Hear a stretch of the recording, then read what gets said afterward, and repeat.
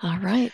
Well, we're recording, and I just wanted to say hi to all of you who have joined us for today's Lunch and Learn with the State Library. You have three for the price of one today um, of State Library staffers, and happily, the two people who can speak with expertise and authority about bridges are Becky and Eunice. So happily, they're here. and uh, we're glad you're here. So we're ready. All right. Thanks, Bon.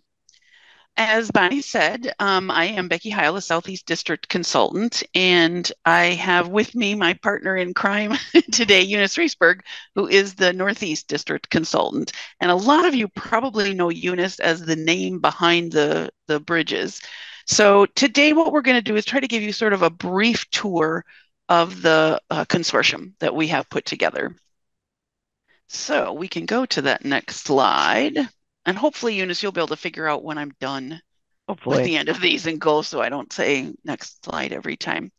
I am going to start the, the afternoon off by talking a little bit about collection development. Then Eunice is going to finish that up and talk about ways that you can promote your downloadables, both for your patrons.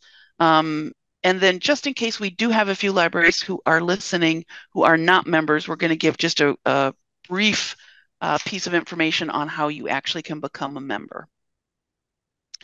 So let's start with collection development. One thing that I want to mention here before we get too far into this session is that Bridges does have a collection development policy. You can find it on the Bridges website, and there is even a request for reconsideration form that a patron can fill out. And the last time we updated that was last August. So we have added and changed a few of things.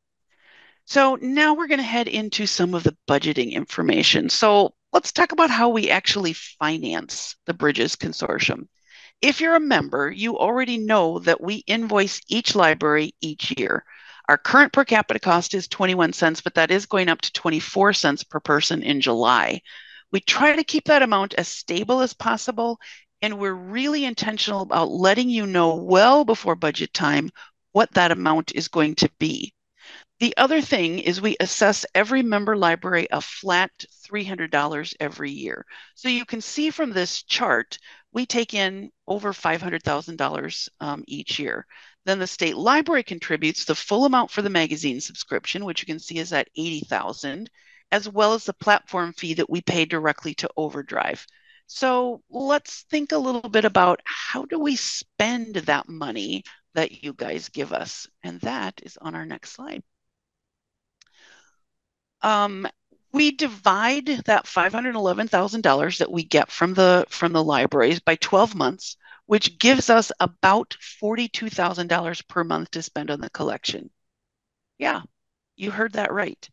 We spend $42,000 every month on the Bridges collection. This chart shows what we spend that money on. You can see that big orange section there at 46% is the biggest, and that is what we spend for multiple copies. So we purchase one copy of all of the titles that we're going to put in the collection, and then we see the holds start coming. And one of the team members, uh, Misty Gray, goes in and evaluates those and purchases multiple copies. In the collection development policy, we actually have a note that says we will not buy more than 75 copies of any particular title. But that kind of gives you an idea of how high we actually go when we're buying um, multiple copies. So you can see that's why it eats up a substantial portion of our budget. The next biggest one then is for new books, um, which is the section that I actually uh, manage, and that's 25%. And we have a team of selectors, and I'll talk about them in a little bit, uh, who actually purchase for us in that. The next section is 21%, and that is our expiring content. If you're not familiar with that, every month a certain number of the items that we've purchased will expire. And we have to make the decision whether or not to purchase that title again if we want to keep it in the collection. We also, and Eunice manages that, and I think she's going to talk about that a little bit later. We also have um, 7% set aside for patron requests. So this again is something Eunice will talk about in a little bit. A patron can submit a notify me tag, and that acts as sort of a trigger for us to see that somebody would like to read a particular title. When we have enough requests, we purchase a copy. And then we also have a tiny little piece, that 1% in purple there, called CPC, which stands for cost per circ. And I'm not going to go into that model, but just know we do set a little bit of money aside for that as well.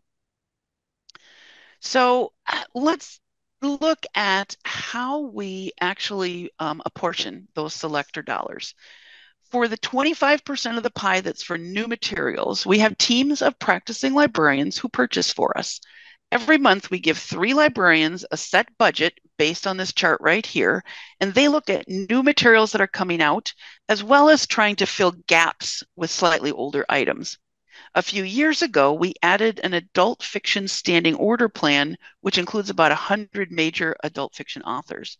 So if you look at that middle column, which lists the percentages, you can see we spend 53% of our total $10,500 budget on regular adult fiction that the selectors choose. And then another 12% is set aside for those major authors as a standing order as they uh, come out. So that adds up to about 65%. So really what that tells you is 65% of our monthly dollars goes to adult fiction. If you kind of follow that column down, 22% then goes to adult nonfiction and 13% goes to youth. That far right column then tells you the amount of dollars that are set aside. So every month, our librarian selectors create two carts of new materials for the category that they're selecting in which means the person who's purchasing adult nonfiction can spend about $1,500 on audiobooks and about $800 on ebooks. Excuse me. We keep the split the same between ebooks and audiobooks, which is about 65 30. So, again, you can kind of see that down the middle there. Now, I am going to turn it over to Eunice, who is going to finish up the collection development piece. Okay, so then a little bit more into the other ways we spend the money uh, that doesn't go to the, the um, selectors. As Becky mentioned, there's stuff that expires. There are several different license models that we can purchase materials in. One thing is one copy, one user, which is probably most like a uh, print book. It you buy one copy, you keep it forever. One person can read it at a time. But most of what we buy is limited in some way. They could be limited by time, usually 12 or 24 months. They could limit, be limited by the number of checkouts, usually 26 or 52. It can be a combination of both of those things, wherein it's uh, either 52 circulations or 24 months, whichever comes first. There are a few things that are available at a cost per circulation model. There is also a relatively new model that allows 100 simultaneous checkouts for one set fee, which is really nice because it makes a lot of people happy really fast, but it's about three times the cost of what any other model for the same title would be. So we use that judiciously. Um, other books can be for unlimited concurrent use. These are on a subscription and expire after a set time. For example, all the magazines we have are simultaneous use more often now than before, we'll have a choice of a couple different models for any given book. Um, that is, of course, still set by the publisher, and it's whatever terms they want to make available to us. And that choice is great, but it does make things a little more compl complicated. So then, to those expiring things, every week I spend time purchasing new licenses for titles that have expired, but still have people waiting to read them. Of late, the budget allows me to keep up with everything that has about four or more patrons waiting. And that so that is also a piece of the hold situation. On a side note, since most of you are Bridges users already, if you have patrons who are asking about the licensing issue, they don't understand it, Overdrive has a kind of nice infographic you can get from the resources page to help explain that. And that is at resources.overdrive.com slash library. And then there's just the straight holds. We have a budget of $19,320 this year to spend on holds each month. It gets divided between two carts, and we make two purchases within the month. There's also a small cost per circ budget of $420 that is used to help bring down wait time for patrons on the titles where it is cost effective. It's not available on a lot of titles, and a lot of times it just doesn't make money sense. So we use it sparingly. But that does mean that we spend almost $20,000 a month on additional copies for readers. Those patron rec- recommendations are again made by patrons placing notify me tags on anything that's not currently in the collection. That can be books that aren't yet released. It could be things that we haven't just haven't bought around, gotten around to buying yet, or it could be things that have been weeded because the license expired and nobody was waiting for them. But hey, now there's a new TV version or something and people are interested again. As you'd expect, then the patron is notified when the title is added so they can check it out or place a hold. We put a small part of the budget into ordering some of these things every month. You'll see here the results for a, a search uh, for something that wasn't in the collection at the time. And there's no option to check it out or place it on hold because it wasn't there, but they could place this notify me tag because if they were interested. This part I'm doing now isn't strictly collection development, but it's related and it's fairly new, so I thought I'd cover it a little bit. So searching for things with common titles or words, titles with lots of common words is really difficult. And it really comes up with the notify me tags. So what you're seeing right here, I was looking for um, the not yet at the time released The Exchange by Grisham. So that search found 21, 29 similar titles that were already in the collection, but none of them were the books that I wanted. Again, it hadn't been added yet. Below the box for searching within the result, there's an option to deep search.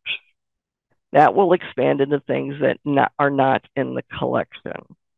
And that's where, you know, you're going to be able to do the notify me tags. Unfortunately, though, with that title, that gave me over 3,700 different results, which was way too many to, to search through one at a time. So instead, I added the word Grisham to the search within the results box and then do the deep search. And that search within the results is also what you would do if this was something in the collection and you didn't want to sort, sort through those original 29, which then gave me two results, the ebook and the audiobook that I was looking for. So I know this is not the most intuitive process. I've had the conversation with my contacts in Overdrive, and I know that a lot of other Overdrive contacts have brought this up as well. It's gone to the developers, it's on their list of things to work at. Hopefully, they will get on it soon. But in the meantime, this is what we have. And so we need to be able to help our users find their way through it. Can I just uh, say, I, I sure. found this the most difficult thing. To, I've been using Libby and Overdrive for years and years and years and years, and I literally could not puzzle my way through this. So even though this is going a little bit more in detail than what typically do for the lunch with the state library, I asked Eunice to stick this in because I think your patrons are probably frustrated and you may be frustrated when they say, I can't find this. I know it's coming out. So hopefully this has kind of helped you guys um, get a little bit better understanding of how they can go a little bit deeper in and get that. Right. Um, something that I thought of when you just mentioned that this is coming out. Just a heads up for you and your patrons when they're looking for something and saying, why don't you have it yet? We don't generally purchase pre order materials until they're about three weeks out so that they aren't sitting there building holds when nothing can be done. So all those notify me tags get placed. And as soon as it gets close enough, we order the pre order copy and then people could start placing holds. So if they ask you that, now you know.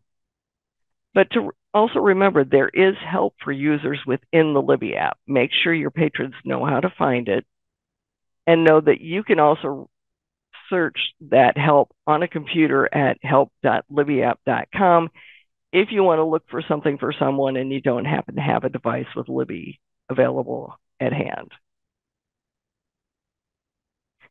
Another good thing that's been popular about the Notify Me tags is that now patrons can effectively use that to subscribe to a magazine. As someone checks out a magazine, Libby, Libby offers to put a Notify Me tag on it, so then the person can be notified as soon as the new issue is available. So as soon as the next one comes out, they can check it out and they'll be good to go. There are a couple of places we encourage everyone to use for help promoting Bridges to your patrons. The first is the Bridges page on the State Library website. You'll see in the right column multiple versions, the Bridges logo, as well as posters, business cards, and other printable items you can download and use. These are all specific to Bridges. The other place to check before is you, before you go Sure. on, Eunice, I interrupt really quick here. Just as a reminder, um, some of you may know, some of you may have come in in the, the middle of some of this. Um, we purchased a lot of items like bookmarks and and business cards and things for every library that signed up for Bridges back in 2015 or whenever it was that that we did that. As those run out, we are not replacing those for you. Um, you know, we spent the money, had Overdrive make them for us, create them, and we give them to new libraries as they sign up. But as you run out of those marketing materials, um, feel free to use that site that Eunice just showed you to make your own. And and as this next one shows up, how to customize them. Okay.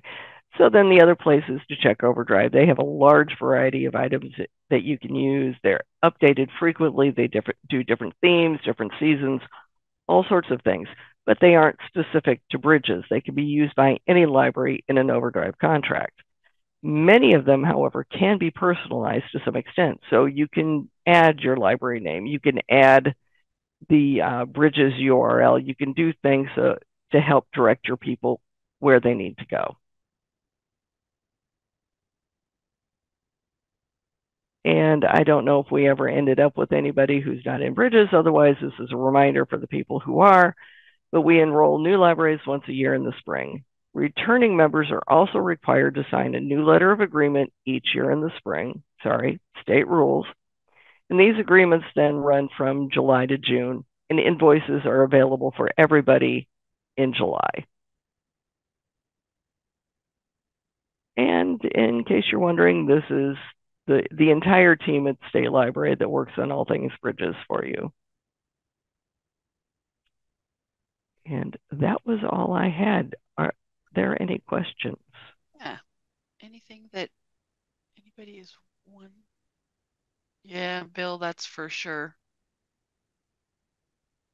Um, so I can give you a little explanation, not that that really helps with the problem, but um, you will see, you know, 120 holds on on a particular item when you go to to do it and you multiply that out by everybody can check it out for two weeks and you think you know it's going to be a year before i before i get this um, item 240 weeks or whatever it is um, and so it looks like there's a, a, huge list there's a lot of reasons for that one is um, there are people like me who will put a hold on the audiobook or the ebook because i don't care which one i get um, and so once I get one of them, I get rid of the other one.